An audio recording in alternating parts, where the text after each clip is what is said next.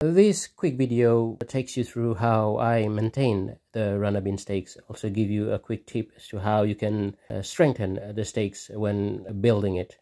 Now, we had these uh, stakes going on for a number of years. I'm just reusing what we have used last year and the previous years, but to tighten them and strengthen them.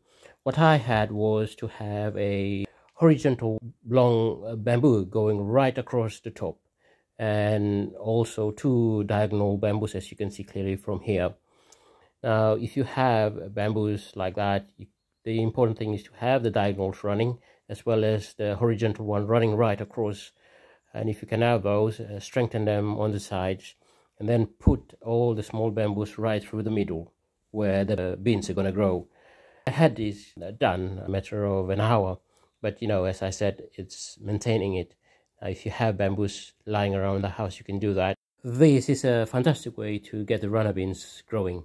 Hope this gives you an idea as to what you can do. Please do subscribe to Garden Bamboo Plants